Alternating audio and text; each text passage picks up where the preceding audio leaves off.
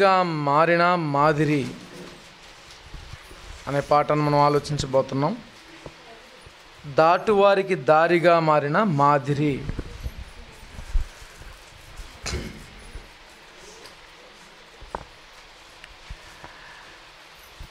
దాటువారికి దారిగా మారడం ఏంటి? అని ఆలోచించే ముందు ఒక చిన్న కథనం మీతో పంచుకుంటున్నాను. జాగ్రత్తగా వినండి. ఒక కొండ ప్రాంతంలో ఒక చిన్న దారి ఉంది.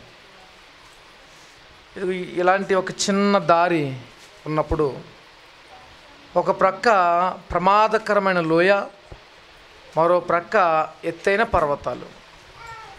అటు వెళ్ళలేక ఇటు వెళ్ళలేక దారి లేని ఒక చోటది. అంటే ఒక వ్యక్తికి మరో వ్యక్తి ఎదురొస్తే దాటలేరన్నమాట. అలాంటి ఒక ఇరుకైన స్థలంలోనికి ఒకవైపు ఒక గొర్రె మరొక వైపు మరొక మేక వచ్చినవి ఎదురుగా. అవి తప్పించుకోవడానికి లేదు ఇప్పుడు. ఒక జంతువు మాత్రమే నడవగలదు. పోనీ వెనక తిరిగిపోగలదంటే తిరగలేదు. పర్వతాన్ని ఆనుకుంటూ ఒక చిన్న దారి కాలు జారితే లోయ. ఇలాంటి ఈ పరిస్థితిలో ఒకవైపు ఒక మేక ఒకవైపు ఒక గొర్రె ఎదురు బొదురు పడ్డాయి. ఇప్పుడు ఎలా తప్పించుకోవాలి అవి? రెండిటికీ ప్రమాదం ఇప్పుడు. ఒక జంతువుని తప్పించుకుని ఒక జంతువు వెళదాము అనుకుంటే రెండు కూడా లోయలో పడిపోతాయి. అలా చాలాసేపు అలా ఉండిపోయి దూరంగా చూస్తున్న జనులందరూ కూడా ఏం జరుగుతుందో చూడాలి ఇప్పుడు. ఏ జంతువు ముందు చనిపోద్దో చూడాలి అనుకుంటున్నారు. అలాంటప్పుడు ఈ గొర్రె ఏం చేసిందంటే ఆ మేక వైపు దీనంగా చూస్తూ తను ఉన్న చోట కుప్పకూలి బల్లపరుపుగా నేలనంటేసింది ఈ మేక ఈ గొర్రె నేలనంటడం చూసి ఆ గొర్రె మీదుగా మేక నడిచెళ్ళిపోయింది నడిచెళ్ళిపోయిన ఆ మేక వెనక్కి తిరిగి చూసేసరికి అతి భారంతో ఆ మేక బరువును తట్టుకుని లేస్తూ నెమ్మదిగా లేచి ఈ గొర్రె కూడా అడుగులు అడుగేసుకుంటూ వెళ్ళిపోయింది. నిజానికి ఆ రెండు జంతువులు చనిపోవలసినవే. ఎప్పుడో తెలుసా? నేను ముందొచ్చాను నువ్వు తప్పుకో. నేను ముందొచ్చాను నువ్వు తప్పుకో అంటే రెండు చచ్చిపోతాయి. కానీ ఇక్కడ గొర్రె తలదించుకుని వస్తున్న మేకకు తన శరీరాన్నే దారిగా చేసింది. అలా చేయగా ఆ మేక అడుగులు ఈ గొర్రె శరీరం మీద పడిన భారాన్ని భరించి ఆ మేకను దాటిపోజేసింది. తద్వారా ఆ మేక బ్రతికింది. ఆ గొర్రె తర్వాత తాను కూడా తిరిగి లేచింది. ఒకవేళ మనకి ఎలాంటి పరిస్థితులు అయితే మన పరిస్థితి మన ప్రవర్తన ఎలా ఉంటుంది. మనకి ఎలాంటి పరిస్థితి ఎదురైతే మన ప్రవర్తన ఎలా ఉంటుంది. గొర్రెలా ఉంటుందా మన ప్రవర్తన? మేకలా ఉంటుందా? కానీ ఇదే పరిస్థితి మన రక్షకుడైన యేసుక్రీస్తుకి ఎదురైంది. ఇప్పుడు దారిలో ఎదురు బదురు వస్తుంది ఎవరో కాదు ఒకవైపు మన రక్షకుడైన క్రీస్తు మరోవైపు మనము. మనం వెనక్కి తిరిగేవారం కాదు. ముందుకు సాగితే నడ్డొస్తున్నాడు. ఎలా మన జీవితం? ఇప్పుడు ఆయనే కిందకి వంగి తన వీపును దారిగా చేసి తన మీద నుంచి మనకు దారిచ్చాడు. ఈరోజు మనం జీవించగలుగుతున్నామంటే ఎవరి మీదుగా వచ్చి జీవించగలుగుతున్నాం తెలుసా? ఏసుక్రీస్తు వారి మీదుగా. లేఖనం ఏం చెప్తుంది? చూద్దాం. ఏషియా గ్రంథం.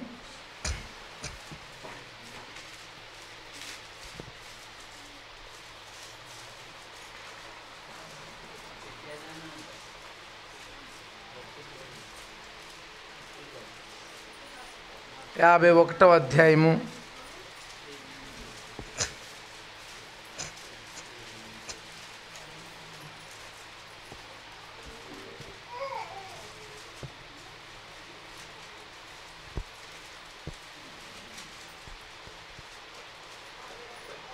యాభై ఒకటవ అధ్యాయము ఇరవై రెండు ఇరవై మూడు వచ్చినాలు నీ ప్రభువుకు యహోవా తన జనుల నిమిత్తము వ్యాజ్యమాడు నీ దేవుడు.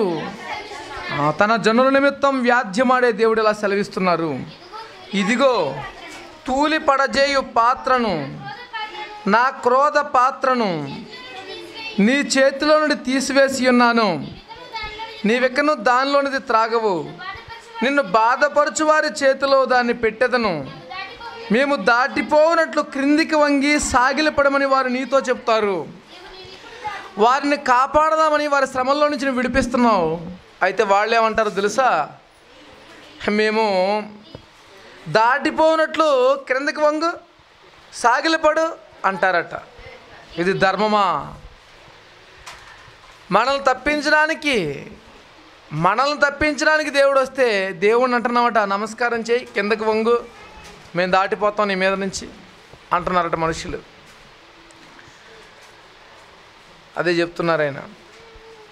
మేము దాటిపోవునట్లు క్రిందికి వంగి సాగిలిపడమని వారు నీతో చెప్పగా నీవు నీ వీపును దాటువారికి దారిగా చేసి నేలను దానిని వంచితివి కదా వారికే ఆ పాత్రను త్రాగనిచ్చేదను.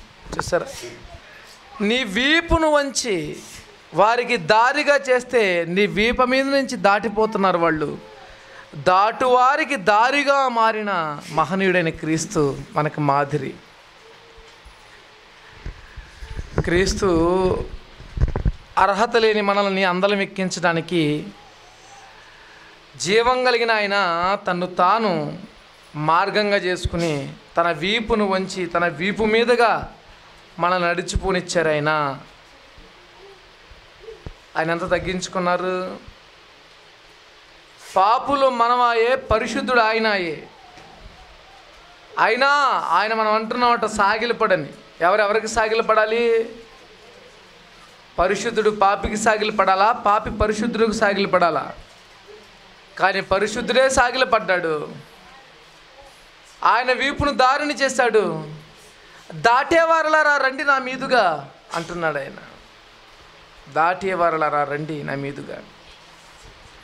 ఒకనాడు ఇస్సాకు గారి రెండవ కుమారుడైన యాకోబు గారు సిరియా దేశానికి మామగారి కూతుర్ని పెండ్లి చేసుకోవడానికని బయలుదేరినప్పుడు ఒంటరిగా బేతేలు ప్రాంతంలో బిక్కు బిక్కుమంటున్న కటిక చీకట్లో చేతి కర్ర మాత్రమే చెంతనుండగా ఆ రాత్రి నిద్రపోవడానికి తలగడగా ఒక రాయిని చేసుకుని నిద్రపోయాడు ఆ నిద్రలో.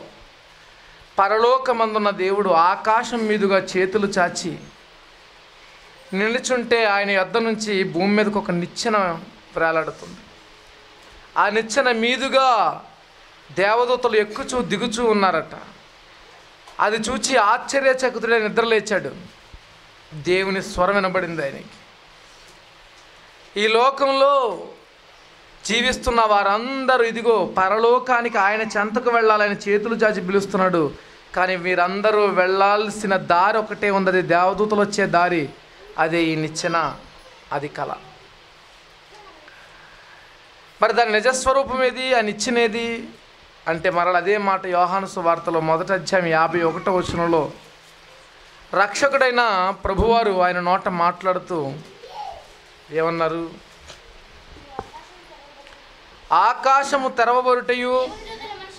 దేవుని దూతలు మనుష్య కుమారునికి పైగా దిగుటయు ఎక్కుటయు చూతురని నీతో నిశ్చయముగా చెప్పుచున్నాను. ఎవరెక్కుతారు?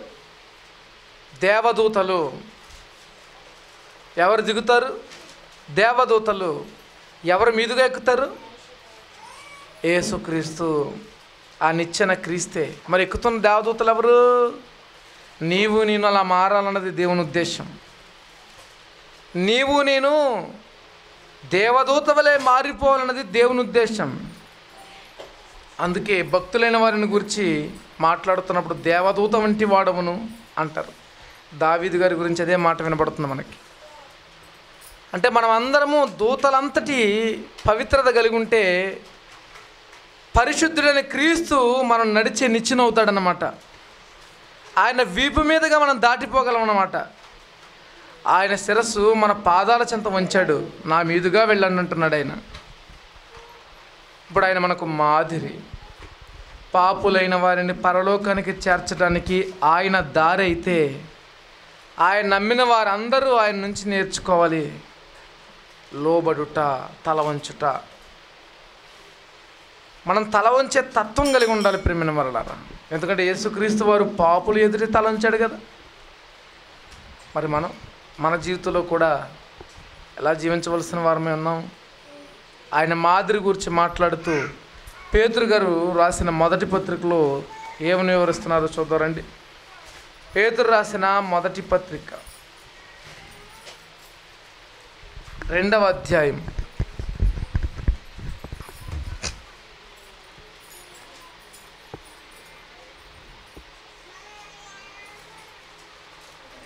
ఇరవై రెండు.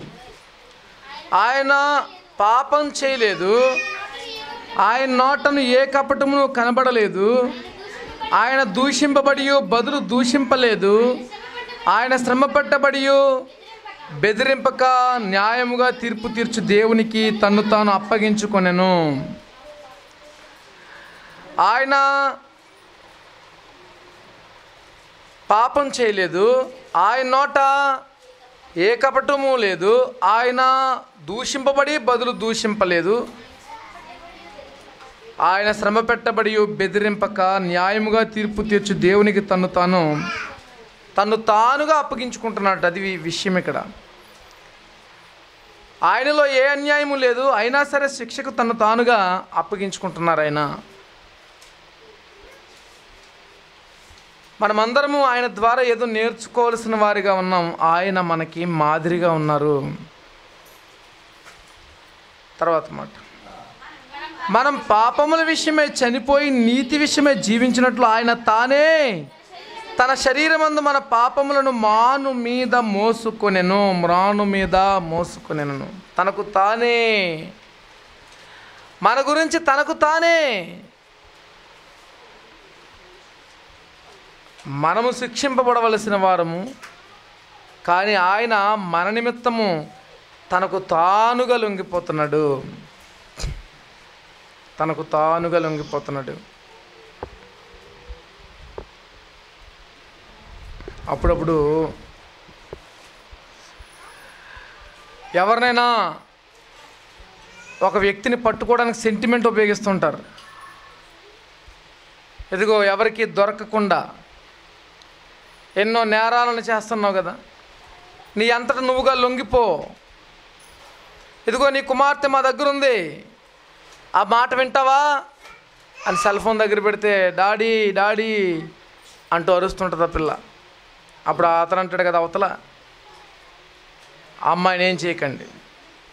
నేను లొంగిపోతున్నాను. అని తనంతట తానుగా చేతులెత్తి వచ్చేస్తాడనమాట ఎందుకంటే కన్న తండ్రిని కదిలించిన కన్నబిడ్డ ప్రేమది. మరి ఈయనేంటి? ఈయనేంటంటే ఎవరి కోసం తన్ను తానే లొంగిపోతున్నాడు తనకు తానుగా. తను తానే అప్పగించుకుంటున్నాడట. ఆయన ఎవరు అప్పగించట్లేదు?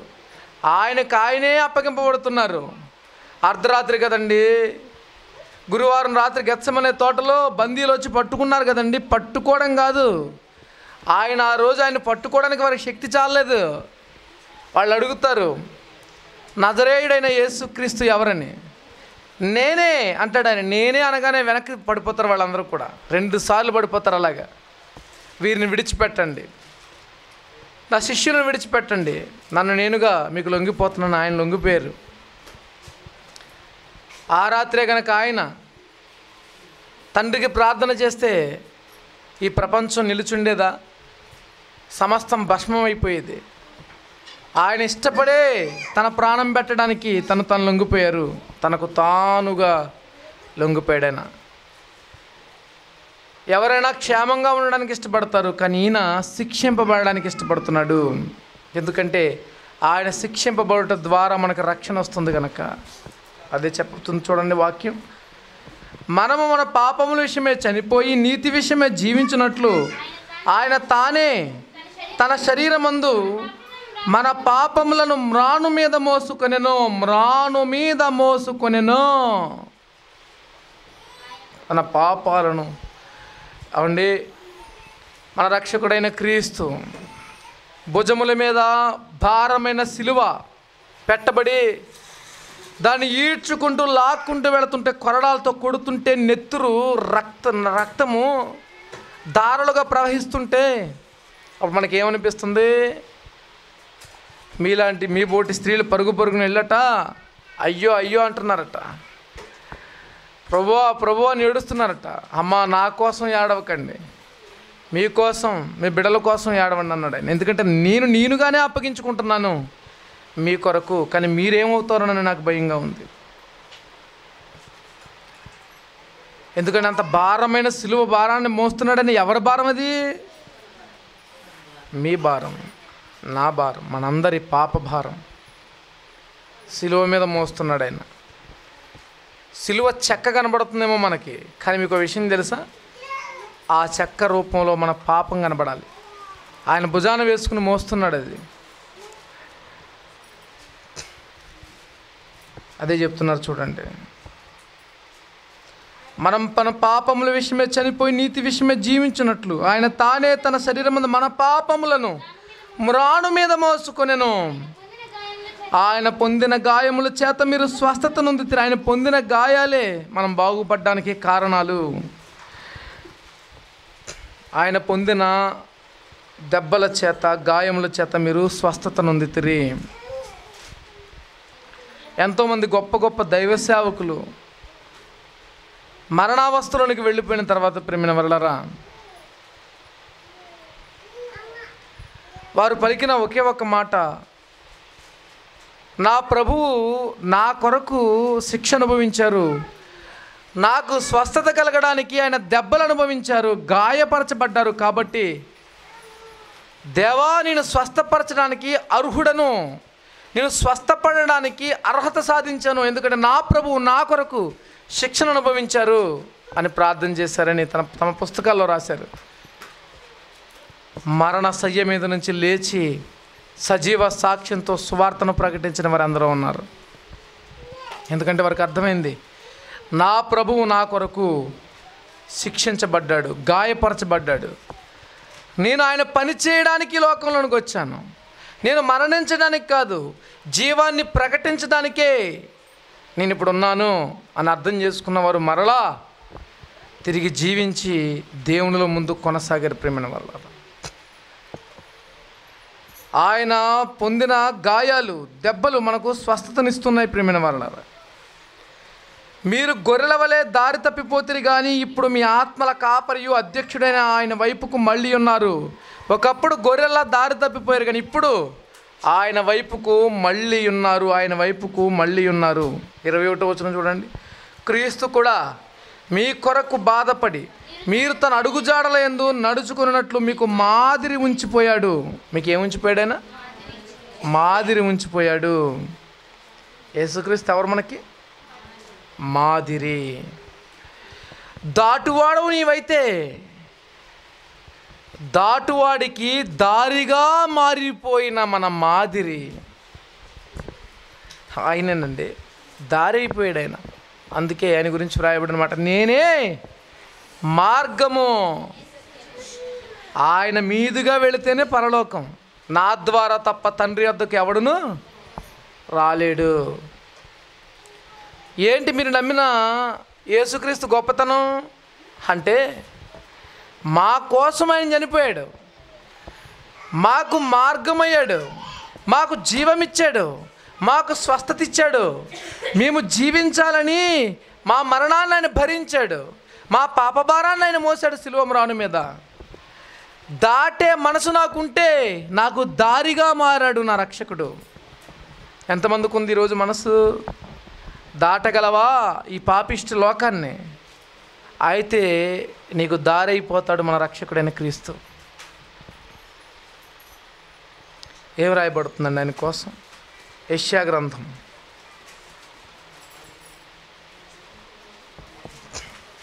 యాభై అధ్యాయం. యష్యా గ్రంథము యాభై అధ్యాయం చూద్దాం ప్రేమిన వల్ల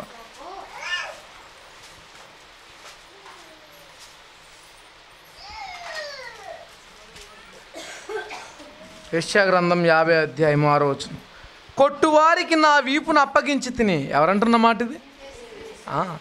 కొట్టేవారికి నా వీపునే అప్పగించి తిని. వెంట్రుకలు పెరికివేయు వారికి నా చెంపలను అప్పగించి తిని. ఉమ్మివేయు వారికి అవమానపరచు వారికి నా ముఖము దాచుకోలేదు. దాచు ముఖం ఇలా తిప్పుకోలేదండి. ఉమ్మూసే వారికి ఎదురుగా పెట్టాడు మొహం. గడ్డం పట్టుకుని పీకుతున్నారు ప్రియమైన వారలరా? ఎంత నొప్పి వస్తుందో చెప్పండి ప్రక్కలను అప్పగించేసేటట్ట కొట్టేవారికి వీపును చూపించేటట్ట కొరడాలతో కొడుతుంటే రక్షకుడు వీపుని తిప్పుతున్నాడు. గడ్డాన్ని పెరుగుతుంటే గడ్డం ఇచ్చేస్తున్నాడు ఆయన. ఉమ్ములు వస్తుంటే మొహాన్ని పెడుతున్నాడు ఆయన. అవండి మాటలు విన్ అర్థం చేసుకున్న చాలామంది తమ జీవితంలో యేసుక్రీస్తును ప్రకటించడంలో ప్రాణాలు అర్పించారండి. ఒక అతహ ఒక అతసాక్షిని చంపేసేటప్పుడు ఆయన చాలా విచిత్రంగా ప్రవర్తించడం రాశారు. ఎలా అంటే నువ్వు క్రీస్తును విశ్వసించడం మానేస్తావా? క్రీస్తే రక్షకుడు అంటావా క్రీస్తే రక్షకుడు అంటే ఈరోజే నీ మరణం. క్రీస్తు దేవుడు కాదని చెప్పు నేను వదిలేస్తాం అన్నప్పుడు ఇష్టపడలేదని చెప్పడానికి. అందుకని ఆయన్ని కట్టెలు పోగు చేసి కట్టెల మధ్య నిలబెట్టి కట్టి నిప్పంటిస్తే ఏసుక్రీస్తే నా రక్షకుడు అంటూ ఆ కట్టెలన్నీ మీదేసుకున్నాడట. తగలబడిపోవడానికి. చూసిన వాళ్ళందరికీ ఆశ్చర్యం అట ఇటు చావుకి ఎదురెళ్తున్నాడు ఏంటినా చావుకి ఒక దెబ్బ తగిలితే మౌనంగా ఉండడం మంచిదని ఆయన గురించి మాట్లాడకపోవడం మంచిది అనుకుంటాం మనం. కానీ ఈయనంటే? చచ్చిపోతున్నప్పుడు కూడా కట్టెలను ఎగలాక్కుంటున్నాడట. రండి నన్ను కాల్చండి కట్టెలారా. నన్ను కాల్చిన నన్ను ఏం చేసినా ఆయనే నా రక్షకుడు. ఇదిగో ఆయన అద్దకు నేను వెళ్ళిపోతున్నాను. ప్రభువా నా ఆత్మను చేర్చుకును అంటే బిగ్గరగా అరుస్తుంటే ప్రజలందరూ నివ్వెరపోయారట ఏంటి మరణానికి ఎదురెళ్తున్నాడు ఏంటి? ఏ అపోస్తలుడు వెనక్కి తీశాడు ప్రేమైన వలనరా ఏ భక్తుడు వెనక తీశాడు ప్రాణాల కోసం? ప్రాణాలు పోగొట్టుకోవడానికి ఎదురెళ్ళారు. ఒక యాకోబ్ ఏమన్నా తల నరకొద్దన్నాడా? అనలేదు. ఒక స్టెఫన్ ఏమన్నా నన్ను కొట్టద్దన్నాడా? అనలేదు. ఒక పౌలు ఏమైనా నన్ను చంపొద్దన్నాడా? అనలేదు. వాళ్ళు అన్నది ఒకటే ఏసుక్రీస్తే రక్షకుడు. ఎందుకంటే ఆయన చేసిన త్యాగం వారికి అర్థమైంది. ఈరోజు మీరు నేను కూడా ఏసుక్రీస్తు నా దేవుడు అని చెప్పుకోవడానికి సిగ్గుపడుతుంటాం. ధైర్యంగా చెప్పలేం. పది మంది మనల్ని చూస్తే ఇంకా ఇవిడ దేవుళ్ళలోకి రాలేదనుకోవాలి మనల్ని. అదే మన గౌరవం. మనకి ఏమర్థం అవుతుంది ఆయన ప్రాణం పెట్టాడన్న విషయం మనం మర్చిపోతున్నాం. ఆయన మనకు సరిగా అర్థం కాలేదు. భక్తులకు అర్థమయ్యాడు కనుక ప్రాణాలు ఇచ్చేశారు. మనకు అర్థం కాలేదు కనుక మన ప్రాణాలను కాపాడుకుంటున్నాం మనం. మన ప్రాణాలను కాపాడుకుంటున్నాం. రానున్న దినాల్లోనట బైబిల్ బ్యాన్ చేస్తారట. తెలిసిందా మీకు ఈ వార్త? బైబిల్ దొరకదు మీకు. పోనీలండి చదవలేకపోతున్నాం అనుకుంటున్నారేంటి బైబిల్ మీకు ఇంకా ఉండదు ఇంకా. అప్పుడు ఏం చేస్తారో మరి? బైబిల్లోని దేవుని మాట మన గుండెలను తాకకపోతే మన మోకాళ్ళు రెండు వంగవు తెలుసా? ఆ మాటే కదా నేనున్నాననిపించేది. ఆ మాటే కదా మన నిద్ర నుంచి లేపేది. ఆ మాటే కదా మనకు జీవాన్ని పోసేది. ఆ మాట వినబడకపోతే మన బ్రతుకులు ఎలా ఉంటాయి? బ్యాన్ చేస్తారట బైబిల్. అప్పుడు ఏం చేస్తారో మరి మరి? అందుకే ముందే దేవుడు చెప్పారు మీరే ఒక్కొక్కరు ఒక్కొక్క పత్రిక కావాలని. మీరే. మనమే బైబిల్ కావాలి. మనమే బైబిల్లోని సంగతులు అవపోషణ పట్టాలి. బైబిల్ గ్రంథం చేతిలో కనబడకపోయినా సరే దానిలోని మాటలు ప్రజలకు వినిపించాలి. అలా జీవించగలిగినాడు దేవుడు చాలా సంతోషిస్తారు ప్రేమిన వల్ల ఏ దేశంలో అయితే బైబిల్ అవమానపరచబడుతుందో ఆ దేశానికి బైబిల్ దొరకదు. వాక్యం ఎక్కడైతే నిర్లక్ష్య పెట్టబడుతుందో వారికి వాక్యం దొరకదు. ఒక కరువు కాలం వస్తుంది అది క్షామకాలం. అది ఆహారం లేని కాలం కాదు వాక్యం లేని కాలం అంటున్నాడు ఇర్మియా గారు. ఆ కాలం త్వరలో రానయ్యింది అప్పుడు మన పరిస్థితి ఏమైపోతుందో? వాక్యం విరివిగా ఉన్నా సరే ఎంతమంది పరలోకానికి వెళ్తారంటే మేము వెళ్తామో వెళ్ళమో తెలియదనే దౌర్భాగ్య స్థితిలో మనం ఉన్నాం. వాక్యమే లేనప్పుడు ఇంకెవరు వెళ్తారు ప్రేమిన వరలారా? మన బ్రతుకులు ఎలా ఉండాలి? రక్షకుడి జీవితాన్ని ఆలోచించిన వారు ఎందరో? తమ తక్షణ కర్తవ్యంగా ప్రాణాలను ఇచ్చేశారండి. మనకి ఈరోజు ఆయన త్యాగం అర్థం కావట్లేదు. ఏంటటైనా కొట్టువారికి నా వీపును అప్పగించి తిని వెంట్రుకలు పెరికివేయి వారికి నా చెంపలు అప్పగించి తిని ఉమ్మివేయి వారికి అవమానపరచు వారికి నా ముఖము దాచుకొనలేదు. ప్రభుకు యహోవా నాకు సహాయము చేయువాడు గనుక నేను సిగ్గుపడలేదు. నేను సిగ్గుపడనని ఎరిగి నా ముఖమును చెకుముకి రాతి వలె చేసుకుంటుని. చూసారా? నేను సిగ్గుపడకూడదు దేవుని కోసం. నా ముఖము చెకుముకి రాతి వలె చేసుకున్నాను నివ్వెరబోతున్నాను అంతే ఏంటి ఎన్నన్నా సిగ్గురాదా ఈ ముఖానికి అనుకుంటున్నారు అందరూ? అనండి నన్ను ఏమన్నా సరే నేను దేవుని కోసమే బ్రతకాలి. ఎంతగా నన్ను దూషించినా ద్వేషించినా ఉమ్ములూసినా నా ప్రభువు నాకు చూపిన మార్గంలో నేను సాగిపోవాలి. ఎందుకంటే ఆయన తనను నాకు దారిగా చేసుకున్నాడు. ఆ కృతజ్ఞత మనకుందా? ఏదైనా చిన్న సహాయం చేస్తే చెప్ వారి గురించి ఎన్నిసార్లు చెప్తాం మనం? మరి మన పాపాన్ని ఆయన మోసి ఆయన జీవాన్ని మనకి ఇచ్చిన దేవుని గురించి మనం ఎలాంటి ఆలోచన కలిగి ఉన్నాం కొద్ది సమయం దేవునికి ఇచ్చేదో ఘనకార్యం సాధించినట్టుగా మనం ఆలోచిస్తున్నాం. దేవుని ఆలోచన మనకు అర్థమవుతున్నాయా? దాటు వారికి దారిగా మారిపోయిన మాదిరి. ఇప్పుడు మాదిరి కనబరిచాడు ఆయన. అంటే మనల్ని ఎలా మారమని? ఎలా మారమనండి? మనలోని మార్పు రావాలి. అనేకులకు మనం దారి చూపాలి. అనేకులను ప్రభు చెంతకు చేర్చాలి. అది మన కర్తవ్యం.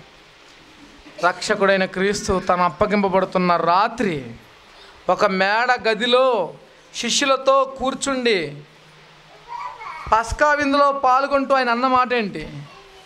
ఇది నా శరీరము. ఇది నా శరీరము. మీరు నన్ను జ్ఞాపకం చేసుకున్నట్టుగా దీనిని చేయండి అన్నాడు ఆయన. తను తానే అప్పగించుకుంటున్నాడండి. శిష్యులకు అప్పగించుకుంటున్నాడు. ఇది నా రక్తము. ఇది క్రొత్త నిబంధన. దీన్ని త్రాగునప్పుడల్లా నన్ను జ్ఞాపకం చేసుకోండి. నన్ను జ్ఞాపకం చేసుకోండి నన్ను జ్ఞాపకం చేసుకోండి. మనం కూడా జ్ఞాపకం చేసుకుని తిని త్రాగి మర్చిపోయి వెళ్ళిపోతున్నాం. అదే జ్ఞాపకం చేసుకోవటం. దేవుడు మనకిచ్చిన ఈ చిన్న జీవితంలో ఆయన కొరకు మనం ఏం చేయగలమో ఎల్లప్పుడూ ఆయన మన జ్ఞాపకాల్లో ఉంచుకోవాలి. ఏ విధంగా ఉపయోగపడగలం మనం? సువార్తకు వెళ్ళగలమా? సువార్తను జరిగించగలమా? ప్రకటించగలమా? ప్రకటింప చేయగలమా? ఖర్చు అయిపోగలమా? ఖర్చు చేయగలమా? దేవుని కొరకు ఏ విధంగా ఉపయోగపడాలి? అనేకులను క్రీస్తు కొరకు సంపాదించాలి. నిన్ను నన్ను సంపాదించడానికి నువ్వు దాటేవాడిగా ఉంటే నేను దారైపోతానన్నాడు ఆయన. మరి ఈరోజు మనం అనేకులు దాటలేక నరకపు కూపంలోనికి వెళ్ళిపోతున్నారు. వారందరిని దాటించే వారిగా మనం ఉండాలా వద్దా? మనం మారాలి. మన జీవితాలను ప్రభువుకు అప్పగించాలి. ప్రభువా నీవు నా కొరకు ఎలా మార్గంగా మారేవో నేను అనేకులు నీ చెంతకు చేర్చడానికి మార్గంగా మారే కృప నాకు ఇవ్వవా?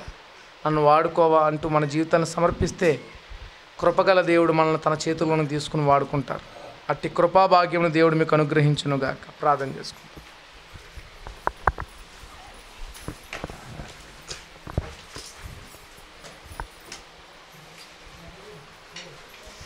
త్రోవ తప్పిపో